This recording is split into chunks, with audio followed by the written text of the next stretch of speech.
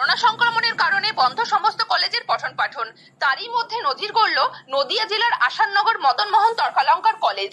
Online পদ্ধতিতে zoom অ্যাপের মাধ্যমে ক্লাসের ব্যবস্থা করল এই কলেজ।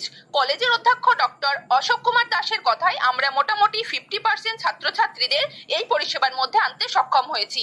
তবে যেহেতু এই কলেজে অত্যন্ত গরিব পরিবারের ছেলেমেয়েরা রয়েছেন, যাদের কাছে অ্যান্ড্রয়েড ফোন বা ইন্টারনেট পরিষেবা নেই, তাদের এই পরিষেবার মধ্যে আনা সম্ভব হচ্ছে না। ওই কলেজে শিক্ষা বিজ্ঞানের অধ্যাপক শ্রী অনিরুদ্ধ সাহার কথায় শুধুমাত্র জুম অ্যাপ নয়, আমরা বিভিন্ন সেমিস্টার ধরে ধরে হোয়াটসঅ্যাপ গ্রুপ তৈরি করেছি। তাতে শিক্ষার্থীদের সাথে মতামত আদান প্রদান করা হচ্ছে।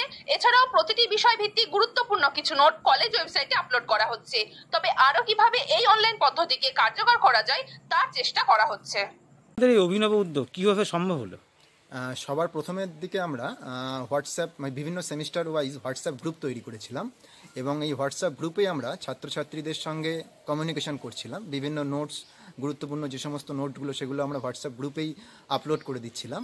কিন্তু এই জুম অ্যাপসের কথা আমরা সবার প্রথম জানতে পারি আমাদের কলেজের অধ্যক্ষ ডক্টর অশোক কুমার দাস মহাশয়ের কাছ থেকে এবং এই অ্যাপসকে কীভাবে ব্যবহার করতে হবে সেটাও আমরা তার কাছ থেকেই সবার প্রথমে জেনে নিই।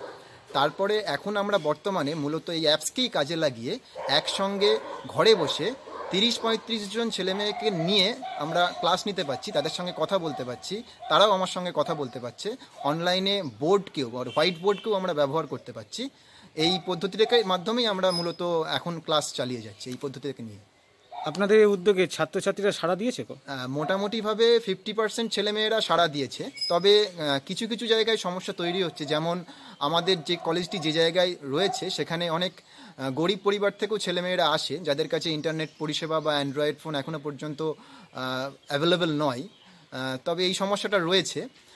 তবে দেখা যাক আরও কীভাবে আরও বেশি অনলাইন পদ্ধতিকে আরও বেশি আধুনিক করে তোলা যায় এবং সকলের সামনে যাতে পৌঁছে দেওয়া যায় সেই চেষ্টাই করতে হবে আমাদের।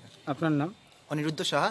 আমি আসাননগর মদনমোহন তর্কালঙ্কার কলেজের শিক্ষা বিজ্ঞানের অধ্যাপক। আমি আসাননগর মদন মোহন দরগালঙ্কার কলেজের অধ্যক্ষ ডক্টর অশোক কুমার দাস। জানাচ্ছি যে গত চোদ্দ তারিখ থেকে চোদ্দোই এপ্রিল থেকে যে লকডাউন চলছে, সেই লকডাউনের ফলে ছাত্রছাত্রীদের সাথে আমাদের যোগাযোগ বিচ্ছিন্ন।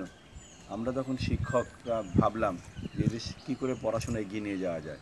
তার জন্য আমরা প্রথমেই সমস্ত শিক্ষককে অনু বললাম যে আপনারা স্টাডি মেটেরিয়াল করে তৈরি করে ছাত্রছাত্রীদের জন্য আমাদের কাছে জমা দিন। আমরা সেটা কলেজের ওয়েবসাইটে দেব। ছাত্রছাত্রীদের এস এম এসের মাধ্যমে সেই স্টাডি মেটেরিয়াল ছাত্রছাত্রীরা ডাউনলোড করে নেবে। তার পরবর্তীকালে আমরা দেখলাম ছাত্রছাত্রীদের সাথে অনলাইন ক্লাস কীভাবে করা যায়। আমি তখন সম- সমস্ত শিক্ষকগণকে তাদেরকে জুম অ্যাপের মাধ্যমে তাদের ট্রেনিং দিই এবং আজ থেকে আমরা এই জুম অ্যাপের মাধ্যমে পাশের ক্লাস শুরু করেছি এবং গত উনত্রিশ তারিখ থেকে আমরা জুম অ্যাপের মাধ্যমে অনার্সের ক্লাস নিচ্ছি। কলেজের ওয়েবসাইটে গেলে ছাত্রছাত্রীরা তাদের রুটিন দেখতে পাচ্ছে। আমরা সেই ছাত্রছাত্রীদের বিভিন্ন রুটিনের সময়ে ছাত্রছাত্রীদের কাছে মোবাইলে লিংক চলে যাচ্ছে। সেই লিংকের মাধ্যমে যে টিচার ক্লাস নিচ্ছে, তার সাথে ওই অ্যাপের মাধ্যমে যোগাযোগ করে কলেজে অনলাইনের মাধ্যমে ক্লাস চলছে এবং ছাত্রছাত্রীরা বেশ উপকৃত হচ্ছে এবং বেশ সময় তাদের সময়, বিভিন্ন সময় ধরে তারা কলেজের টিচারদের সাথে এভাবে যোগাযোগ করতে পারছে। ফলে তারা যে যে একটা সময় কাটাচ্ছিল, যে ডিপ্রেশনের মধ্যে দিয়ে কীভাবে পড়াশোনা চলবে, সেটা থেকে তারা মুক্তি লাভ করেছে।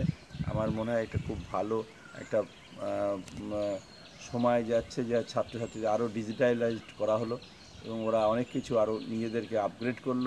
শিক্ষক মশারাও নিজেদের আপগ্রেড করল। ফলে আমরা এখন ছাত্রছাত্রীদের অনলাইনের মাধ্যমে ক্লাস চলছে। আশানগর মদনমোহন তর্কলঙ্কর কলেজ।